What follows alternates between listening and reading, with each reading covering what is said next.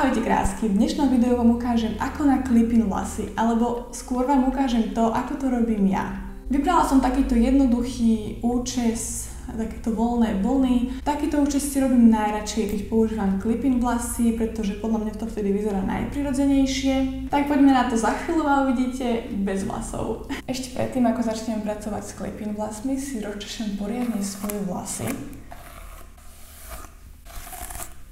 Mám tu tri gumičky, takže si vlasy rozdelím do takých troch sekcií, aby sa mi s nimi lepšie pracovalo. Začnem od hora. Dobre, dajme tomu hlavne, aby to držalo. Nech to vyzerá hoci ako.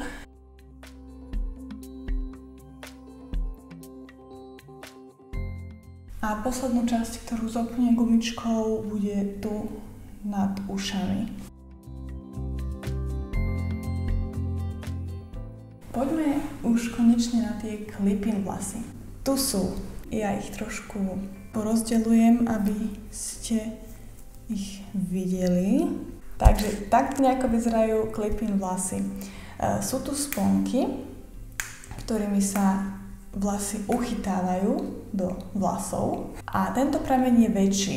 Sú tu až 4. Mám tu ešte aj takúto jednotku, tu dávam väčšinou hore a aj takúto dvojku. A podľa mňa dôležitá vec ako prvá, predtým ako s nimi začnem vôbec pracovať, je to, aby som ich tiež učesala, ako aj svoje vlasy, aby boli pekné, hladké a rozčesané. Myslím, že najväčšia výhoda ľudských kliping vlasov je to, že sa o ne v podstate staráte tak ako o svoje vlasy. Môžete ich umývať, e, stylovať, používať žehličku, kulmu, čokoľvek. A nevýhoda je to, že tiež sa ničia ako aj naše vlasy, ale vyzerajú prirodzenejšie ako umelé vlasy. Vybral som si takúto dvojku, takže je to trochu kratšie, ale túto časť si väčšinou dávam na túto najnižšiu časť, lebo tu nemám až tak veľa priestoru ako napríklad tu.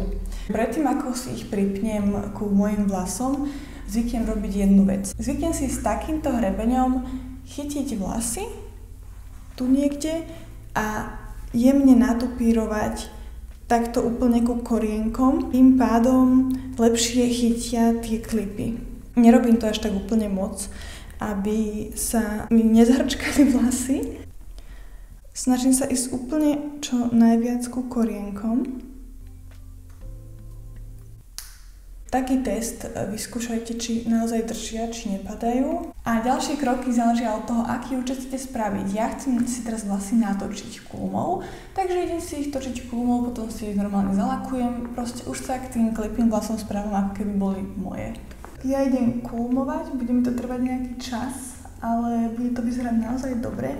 Vlasy budú pôsobiť o mnoho objemnejšie. A ja som zo začiatku robievala takú chybu, že som si najprv nakulmovala svoje vlasy, potom som tam pripla tie clipping vlasy a tie som nakulmovala tiež.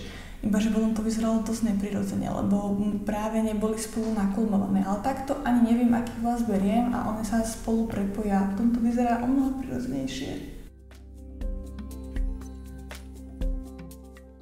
Keď mám tieto spodné vlasy naklumované, tak si ich zalakujem lakom na vlasy, aby držali. A potom pôjdem na ďalšiu sekciu. Tak som to tam domotala. OK, mám to.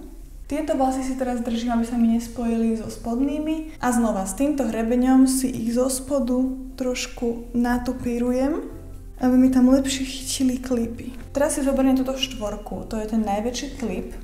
Dám si ho znova na tie natupírované vlasy čo najviac ku korienkom.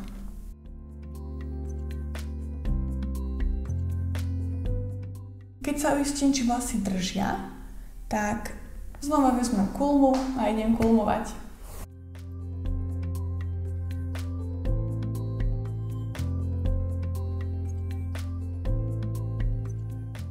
sa úplne najviac páči ten efekt eh, clipping vlasov na krátučkých vlasoch. Naozaj baby, ktoré si to vedia spraviť a dajú si klipín vlasy, tak môžu mať jeden deň takéto vlasy a ďalší deň dobre, že nie je pod pás. E, ja klipín vlasy používam skôr iba na zahustenie a vyzerá to podľa mňa lepšie hlavne na fotkách alebo aj na videu. Ďalšiu časť som natočila, takže idem znova lakovať.